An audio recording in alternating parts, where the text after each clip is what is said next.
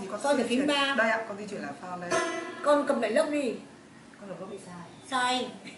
Nửa cung nửa cung. Tức là tương đương với một nửa phím. một phím. Một không? cung thì bằng hai Ừ, phím.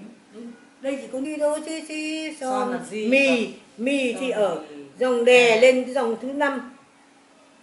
Mì son này. Xì xì là chữ b, nhưng mà vì mì này, xong mà si đô si si son, mì, son, xì. Thì đô này, xong xì, thì nó nằm ở giữa cái dòng he phụ. Cái này nó xì này. Si đô si si son, mì, son, xì. Thế nhưng mà ở phím nhạc thì lại thế nhanh nhanh nhanh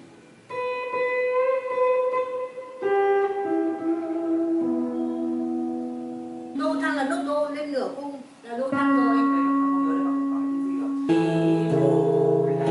Đúng rồi đấy tôi đọc cái đô là đấy.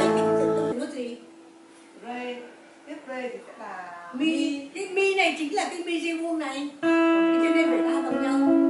Cái dây thứ ba là lên dây gì nào? Dây thứ ba là dây gì đây? Ba dây ba. Dây dây ba là dây là tên là phạm thị minh tường.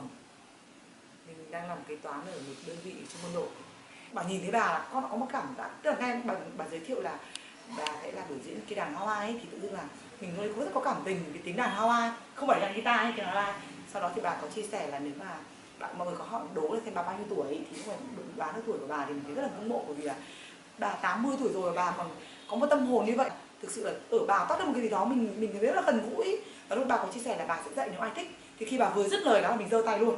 Để con đăng ký. Tháng ba vừa rồi thì bắt đầu chủ động liên dài rất may là bà cho gặp luôn ấy thì là hôm nay là một thứ hai là hôm được đến đây ấy, thì thực sự là nhiều khi nó còn có một cái tình cảm gì đó mình không thể lý tả được. Nhiều khi nó là một cái trực, trực quan Cái duyên, cái cái duyên. đúng rồi và mình để đến nước đây thì mình cũng mình có gia đình rồi nên là mình cũng nói chuyện với anh xã mình kể về qua về bà ông xã cũng và bắt ông xã đến để xem đấy bà như thế và mình anh anh có tạo điều kiện cho em để em học không?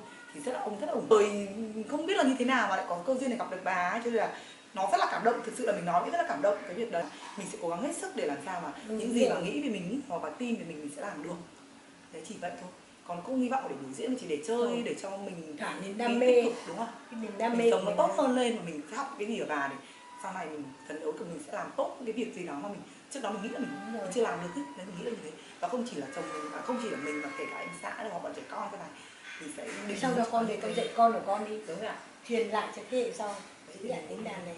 Có thể chưa các học đàn học vào rất nhiều thứ nhé không phải chỉ học đàn đâu, học rất nhiều thứ, mình cảm nhận được điều đấy.